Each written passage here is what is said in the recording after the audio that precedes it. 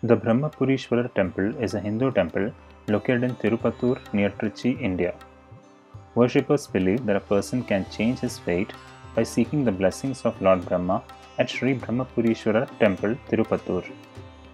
Lord Brahma had an overwhelming pride as the creator of the universe. Lord Brahma felt that he was more prevailing than Lord Shiva since he had the supremacy of creation. This sense of pride provoked Lord Shiva who destroyed Lord Brahma's fifth head and also cursed him that he would lose his power of creation. To relieve himself of this curse, Lord Brahma started out on a pilgrimage of Lord Shiva temples.